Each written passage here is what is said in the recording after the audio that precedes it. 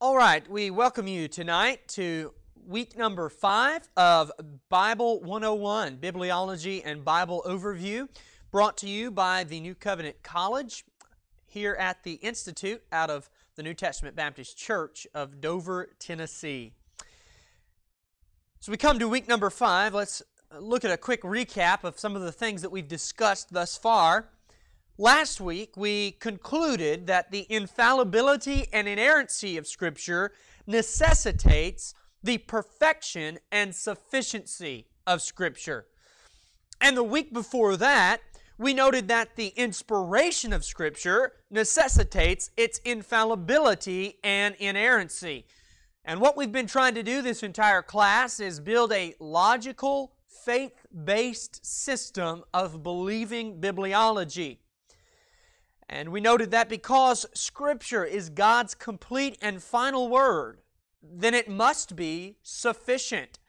And because Scripture originates from the infallible and perfect God, Scripture too must be infallible. And so tonight we want to uh, continue with this same theme and we want to move on to our next faith based conclusion. What is the logical faith based conclusion of inspiration and infallibility and sufficiency? I want to submit to you tonight that it is the doctrine of preservation. The doctrine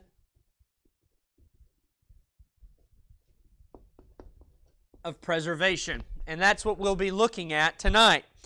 Before we do that, though, I want to give you a couple of preliminary definitions of some technical terms that you'll need if you're going to be able to engage in this discussion. I'm going to give you uh, four definitions uh, that you'll need to know so that uh, I'll be able to freely use them and you'll know what I'm talking about. So here they are. The first one is the word autograph. Autograph. And this is not what the baseball player writes on your baseball at the ball game. Uh, an autograph, what that is, is it is an original manuscript.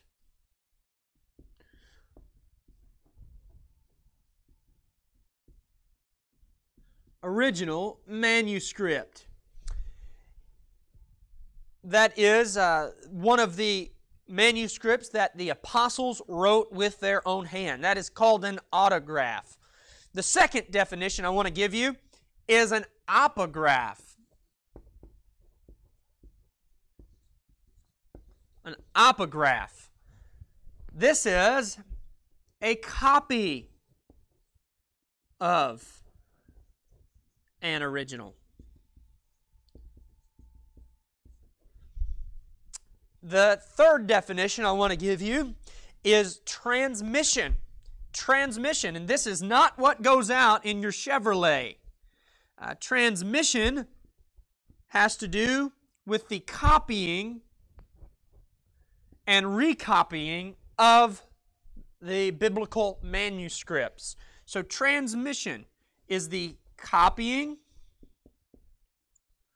and recopying of the manuscripts. And Anytime you see a capital MSS, if you're reading along in your textbook, which you should all be doing, uh, there by Dr. Hills, you'll probably see that abbreviation, MSS. That's just manuscript. So it's transmission is the process of copying and recopying manuscripts. And the last definition I want to give you, though you'll all be familiar with this one, but uh, we still need to make sure that we cover it, is translation. Translation. So, translation and transmission are different. Transmission is the copying and recopying of the text in the original language. Translation is the copying. Uh,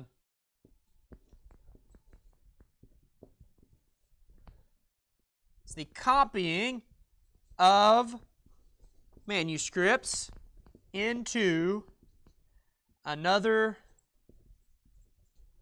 language.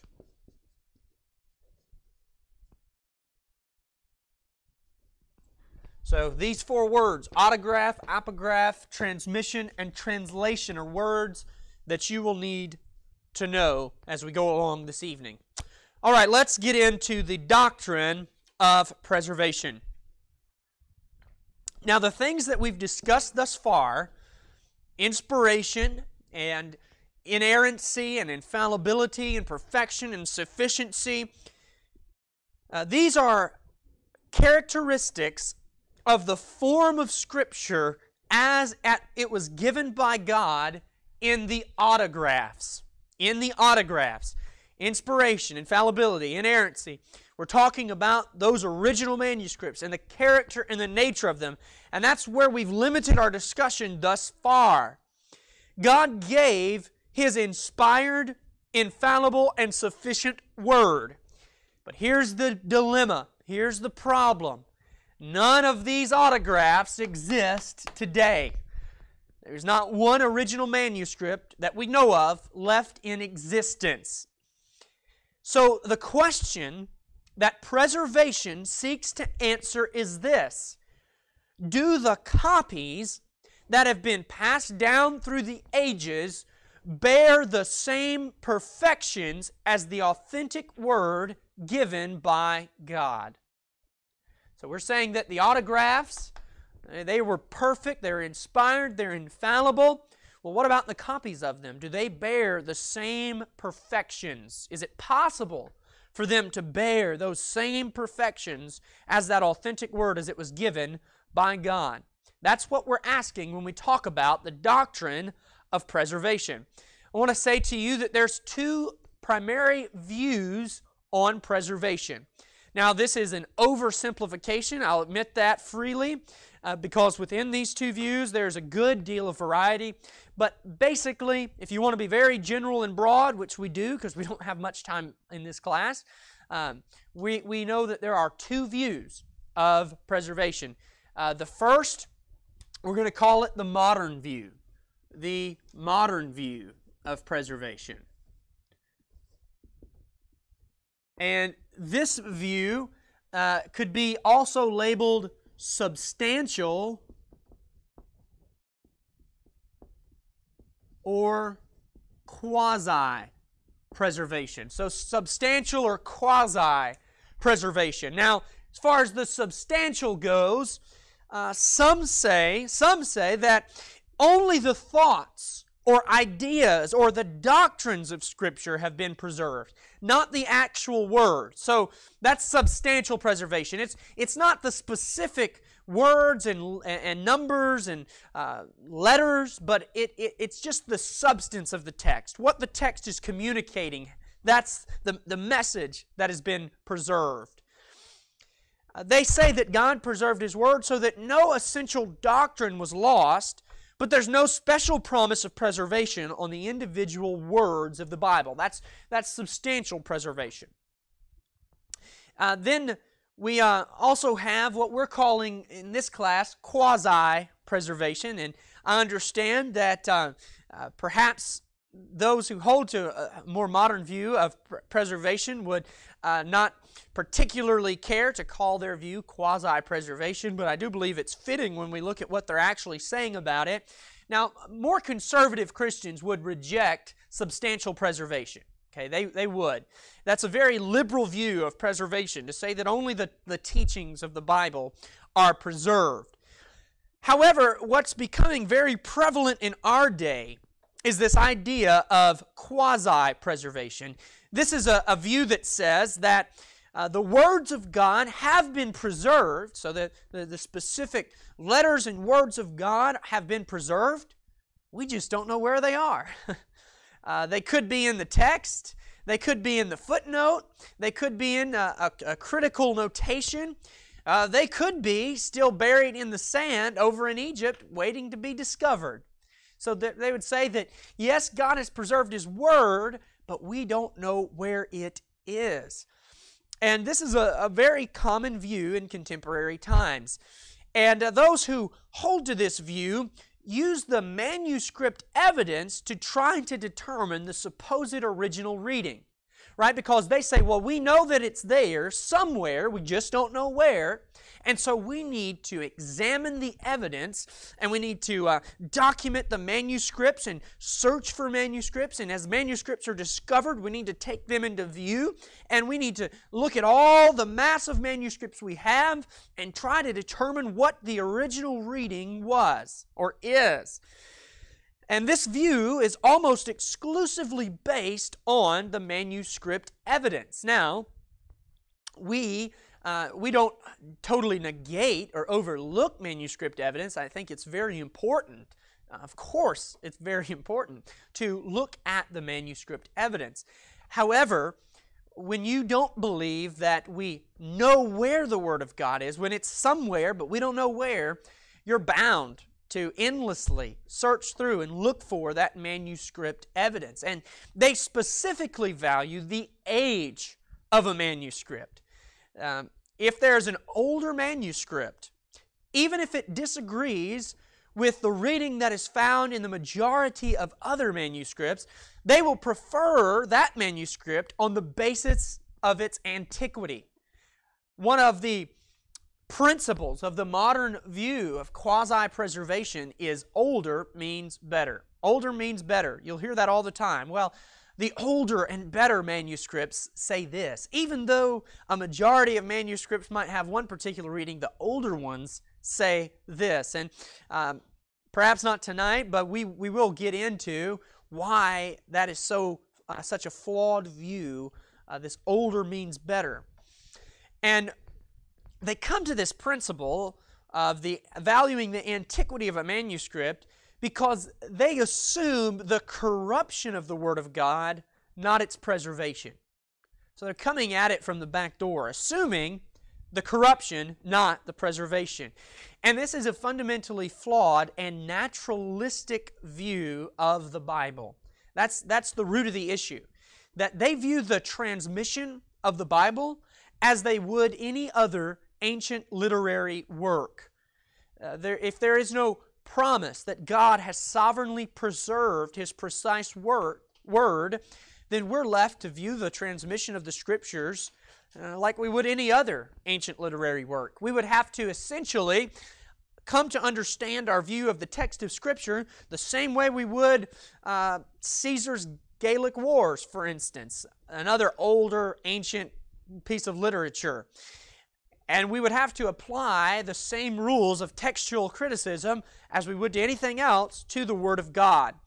And as we will see shortly, this principle of assuming corruption, not preservation, contradicts the logic of faith and the explicit claims that God makes about His own Word. So, uh, that is the, the more modern view of preservation.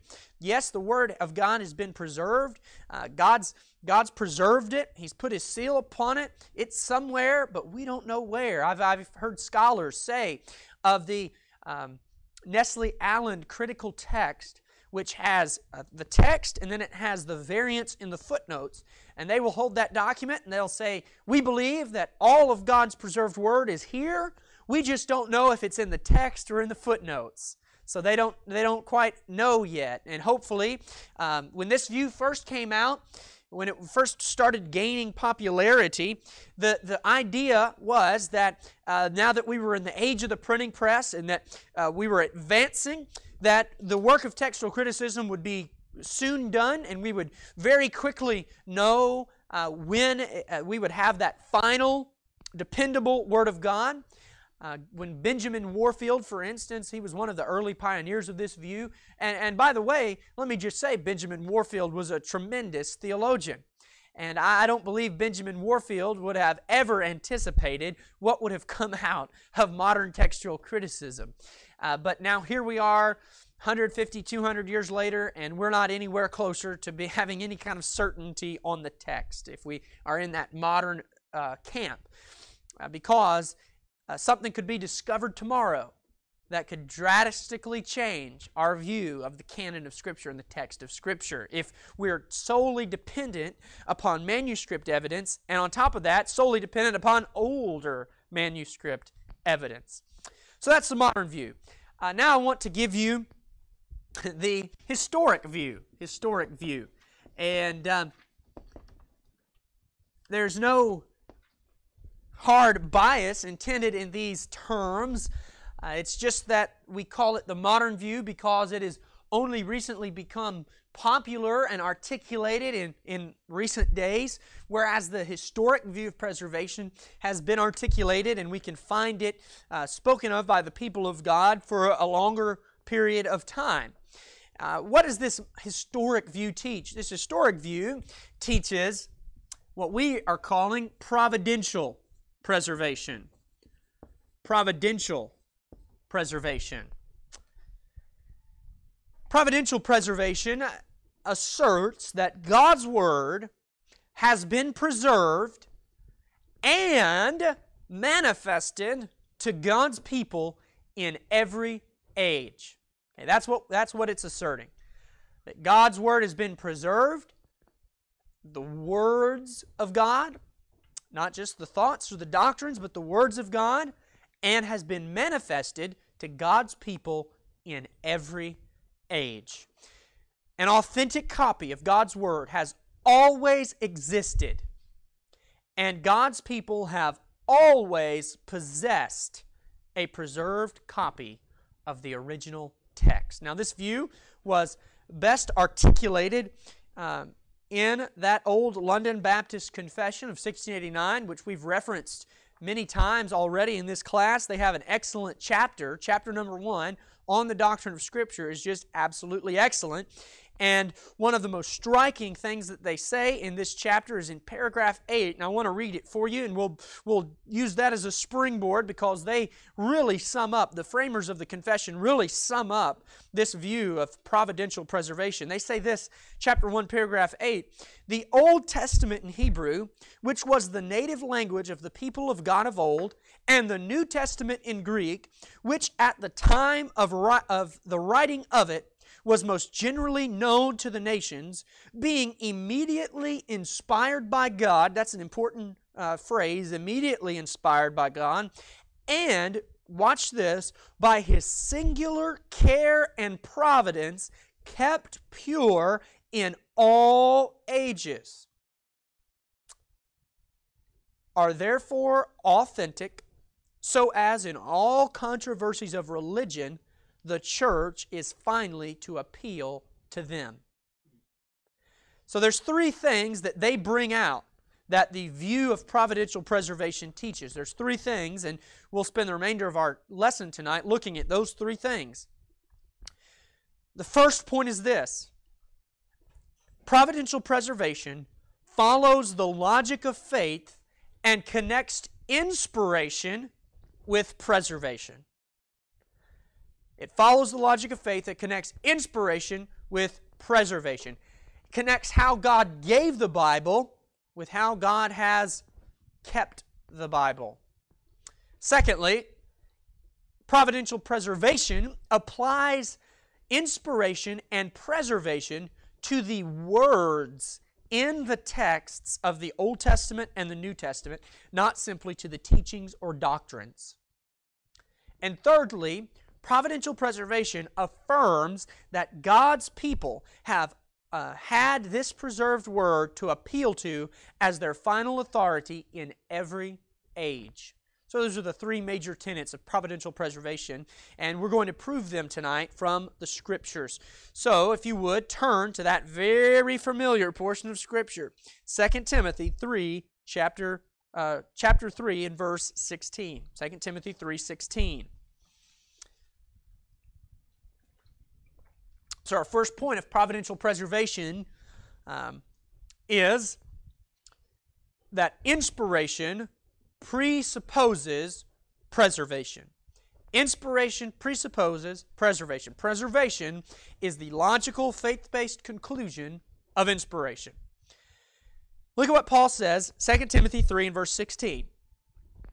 All scripture is given by inspiration of God and is profitable for doctrine, for reproof, for correction, for instruction in righteousness. Now, what scripture is Paul talking about when he says all scripture? Now, in the context, he's speaking of the entirety of the Old Testament, right? Paul obviously didn't have a completed New Testament when he was writing this, though uh, the principle would apply to the New Testament because the New Testament equates itself with the scriptures of the Old Testament. So Paul's talking about all scripture. But more, more than that, what kind of scripture is he talking about? Well, he says all scripture is given by inspiration of God. So Paul is talking about inspired scripture. And he says that it is this inspired scripture, watch, that is profitable. Not will be profitable, not was profitable, but it is profitable. Well, Paul must have been talking about something that he possessed, something that he had, something he could hold up and say, This is the inspired Word of God, and this is profitable. Ah, but wait a minute. I thought that only the originals were immediately inspired by God. And there's no way Paul could have had any original manuscripts of the Old Testament here in the first century when he was writing this book to Timothy. Huh. So, how can Paul claim to have God's inspired word? Well, I'd say you're right. Only the original autographs were immediately inspired. But that didn't create any problems for Paul because Paul believed in the providential preservation of those inspired manuscripts. I gave this illustration a couple weeks ago when I wrote the word Kyrios and we transmitted and we translated. Let me give it to you again. If God immediately inspires his apostles to write something. That is, he uses uh, no means whatsoever. He just moves them with the power of the Holy Ghost to write exactly what he wants them to write, and he immediately inspires them to write the Greek word kyrios. Is this word immediately inspired? Yes, it's inspired, it's infallible, it's sufficient, so on and so forth. Well, what if somebody comes along after, let's say he comes along 100, 200 years later, and he copies it, transmits it. So he's going from autograph to apograph. And he does this. He writes it just like this.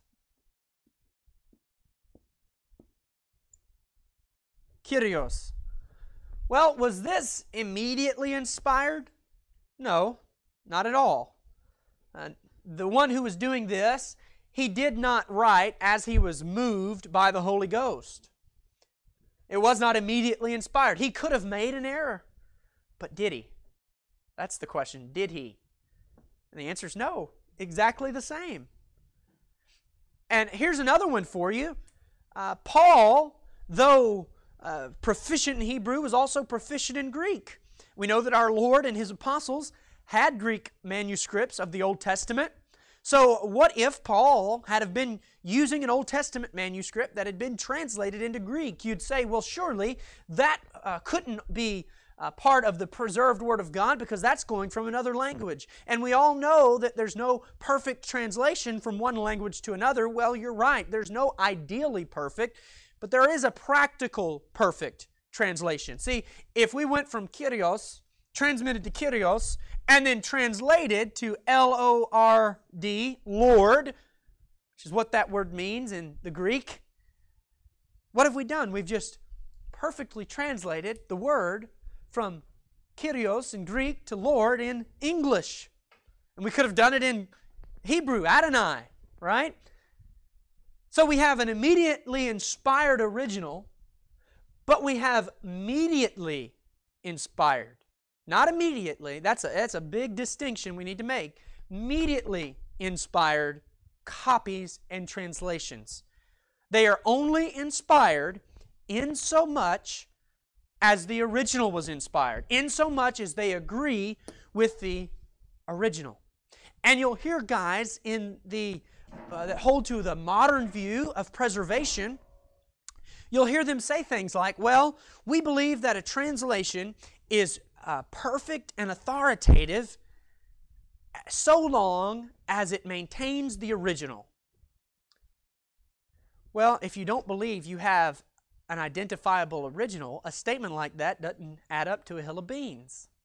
You have to be able to say, we have the original and we know what the original says in order for a statement like that to make sense. So, in this case, we have the original. We can see the original. And because we can see the original, we know it's inspired, and therefore a perfect translation or a perfect transmission, a perfect translation is immediately inspired. Well, today, we don't have the original. We don't have the original. But we've received the promise of preservation, and we believe that God has kept pure the transmission in every age.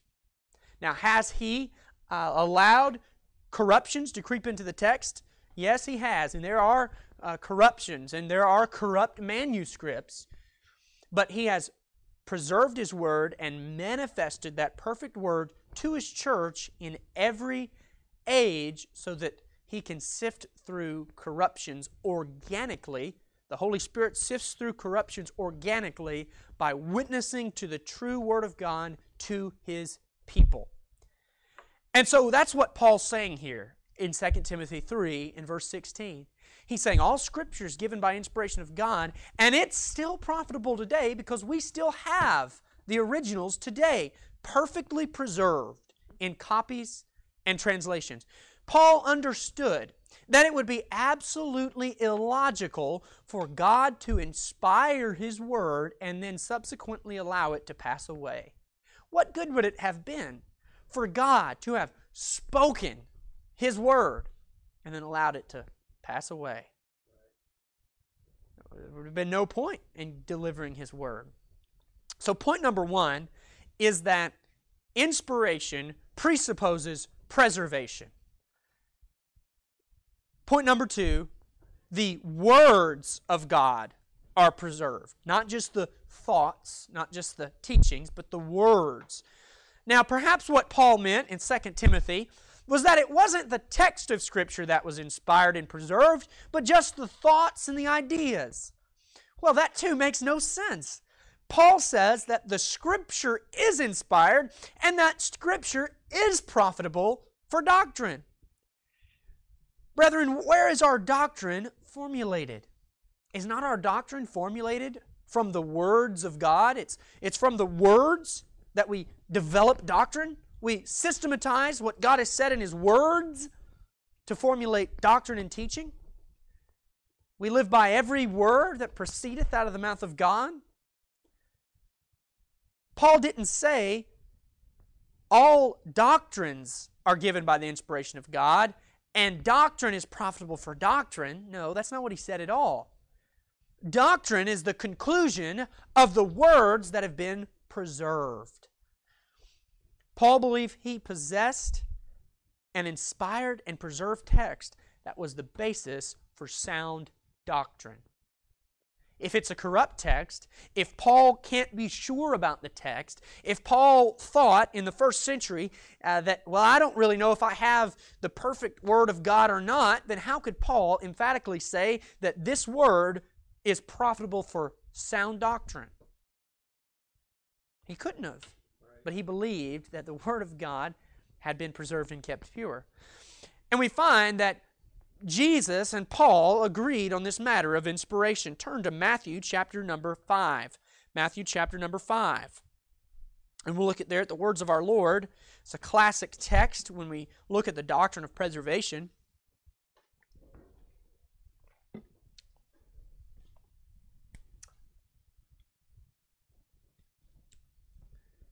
Look at verse 18. Matthew chapter number 5 and verse 18. For verily I say unto you, till heaven and earth pass, one jot or one tittle shall in no wise pass from the law till all be fulfilled. Now, when Jesus says it shall no, in no wise pass from the law, similar to Paul talking about the Old Testament, this word law is what we call in the English grammar a synecdoche. It's when you use a part of something to refer to the whole of something. It's when you use a part of something to refer to the whole of something. Remember when Paul was on the ship and uh, uh, he talked about there were this many souls on the ship and all the souls were saved. Well, he doesn't mean that uh, it was just the immaterial of the, of the men on the ship that were saved, but he's using that soul, part of them, to refer to the whole man. Well, it's the same thing here. When Jesus says, one jot of the law shall in no wise pass away, that can be applied to all of the words of God. And he says, till heaven and earth pass. Well, when is that? That's forever, friend. That's as long as this world exists. We, we learned, I think it was last week, might have been the week before, uh, in Psalm 119 in verse 89, the Bible says, Forever, O Lord, thy word is settled in heaven. And Jesus takes that heavenly promise and applies it to planet Earth when he says, Till heaven and earth pass, one jot or one tittle shall in no wise pass from the law. This means that there was never a time in which the Word of God was not perfectly preserved upon the earth. We need to receive the promise of Christ here about His Word the same way we would about His church. He said that upon this rock I'll build my church, and the gates of hell shall never prevail against it. What does that mean? That means there's never been a time upon the earth from our Lord's first coming till His second when his church did not exist, so too it is with his word. There's never been a time, never will be a time, when God's perfectly preserved word will not exist on this earth. This is what our particular Baptist forefathers confessed in the confession when they said that the Word of God has been kept pure in all ages. Kept pure in all ages. Now, Jesus here gets very specific. He says one jot or one tittle. Now, a jot is the smallest letter in the Hebrew alphabet. It looks like a, a hyphen or, a, or a apostrophe, excuse me, in the English language. It's a very small letter. And a tittle is even smaller. A tittle is a mark that differentiates one letter from another. Uh, if I wrote this, okay, what letters are those? Well, if I put a little tittle on there, now you know that this is a T and this is an L. So it's a little marking that differentiates one letter from another. Do the same thing. Looks like two O's. Now it's a Q. It's a tittle. What was Jesus doing? He was affirming the stability of preserved Scripture on the smallest scale possible. See, it's not just the big picture that's preserved. Yes, God did inspire His Word in the plenary, the thoughts, the doctrines, the teachings, but He also inspired it and preserved it verbally. Verbally. Jesus and Paul wanted us to understand that God did not merely preserve thoughts and ideas, but He preserved His words. So that's point number two, that the words of God have been preserved. Point number three, the church has always possessed this word. They've always possessed his word. Believers in the Lord Jesus Christ have always had God's perfect word to appeal to. See, now, many who hold to a different view of preservation than the one we've been setting forth will still agree with points one and two. They'll still agree that God has preserved what He has inspired and that He has inspired and preserved individual words. So that's a common uh, point of agreement amongst Christians. However, point number three that believers in every age have had this word to appeal to and have had, had access to this word and have been able to distinguish God's word from not God's word. Well, that's a point of contention. But it is one of the most crucial aspects to believing bibliology and providential preservation. Not only has God preserved His Word and kept it pure, but He has also authenticated that Word in the hearts of His people through the illuminating grace of the Holy Spirit in every age. He's preserved it, He's kept it pure, and He's authenticated His Word to His people in every age. Now, it's something we need to understand because this is a rational conclusion of the logic of faith. What good would it have done for God to perfectly preserve His Word only to keep it hidden for thousands of years? What good would it have done? Furthermore, if there was ever a time in which the inspired Word of God was lost or passed away, we would have no authority from which to reconstruct an original. Right. The divine Word was given one time, He spoke it one time, and He never spoke it again. He never re inspired His Word.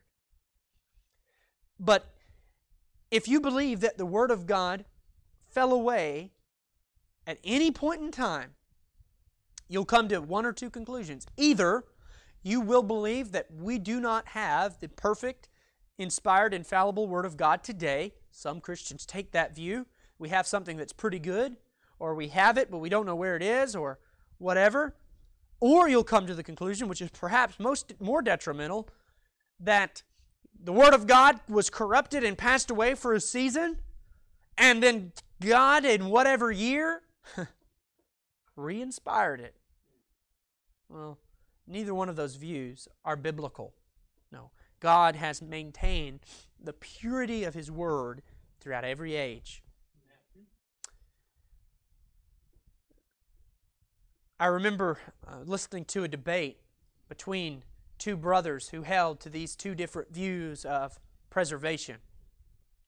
And the one who held to the modern view asked the one who held to the providential view of preservation, he said, uh, Is there any evidence that could be discovered? Is there any manuscript that could be discovered that would change your position on the text? And they were, I think they were debating one of the controversial uh, textual variants. And his answer was, Well, my view of the text is not exclusively based on manuscript evidence, but I first receive the promise that God has providentially preserved His Word. And that is how we need to interpret the evidence. We don't want to interpret, just like we wouldn't want to do it with the account of creation. We don't look and see what the scientists are saying about creation and evolution and Darwinism and then accept that and then go to the scriptures and make the promises of scripture fit with scientific evidence. So too, we don't take physical manuscript evidence and, and hold that as our final authority and then make the promises of the Word of God fit with the evidence. No, it's the other way around. We receive the providence or the, the promises, and that's how we understand the evidence. So Paul claimed that he could appeal to the inspired Word of God for sound doctrine. Why? Because he believed that the Word of God had been manifested to him and all other Christians before him and all Christians after him could make that same claim. I can say today that I have the Word of God and that it's profitable for doctrine. And that is what the framers of the confession said when they, they said that by his singular care and providence, he's kept it pure in all ages and it's authentic. So, as in all controversies of religion, the church is finally to appeal to them the inspired texts of the Old and New Testament. Last, I want you to turn to Matthew chapter number 28. Matthew 28. As we close this evening, and I want you to see our Lord's presupposition that His people would always have His Word. Look, what our, look at what our Lord said in Matthew 28. That very familiar passage of the Great Commission. Verse 19 Go ye therefore and teach all nations, baptizing them in the name of the Father, and of the Son, and of the Holy Ghost. Now, watch this, what, what, what our Lord says in verse 20. He says, Teaching them, who's that? That's the discipled and baptized nations, teaching them to observe all things whatsoever I have commanded you. And lo, I am with you always, even unto the end of the world. Amen. In the Great Commission, Jesus commands his church to disciple the nations, and then after that, to teach them all things, to observe all things whatsoever he's commanded. And this is to be our work from the first coming of Christ to the second coming of Christ. Well, what is the Word of God? What are the things Jesus has commanded? Uh, is it just those things that he taught his disciples in his three and a half year ministry? Well, it certainly includes that, but I don't think we can limit it at that. Jesus is the Logos of God, He is the living Word. Jesus Christ, you understand, this is all the words of Jesus Christ. This is all the commandments of Jesus Christ that He has given to His people. And we're to command all people to obey all of this. But how can the church obey this command in the Great Commission? To teach disciples all of the Word of Jesus Christ if they don't have all of the Word of Jesus Christ. Well, you say after 1611 we were able to obey the Great Commission because now we finally had the Word of God. No, friend. The church in every age has been able to obey this command because in every age they've had the Word of God. Right. Long before the Bible ever made it into the English language, there was a people somewhere speaking whatever language they spoke, be it Greek, be it Latin, be it Old English, French, Anglo Saxon, that had the Word of God in their tongue and were able to carry out the Great Commission of the Lord Jesus Christ. If there was ever a time when the words of Christ passed away, the Great Commission could no longer be fulfilled. But Jesus said himself, Matthew 24 35, Heaven and earth shall pass away, but my words shall not Amen. pass away. So therefore, we affirm providential preservation. God has inspired His Word, He has kept that Word pure in all ages, and He has manifested that Word to His people so that they have the inspired, infallible, sufficient Word of God as their final authority in every age. It's a seamless chain from first immediately giving His Word by the inspiration of God all the way up to today. It's a seamless, unbroken chain of preservation. And in the coming weeks, we will examine the basis and the implications of providential preservation of the Word of God. Thank you, and God bless you.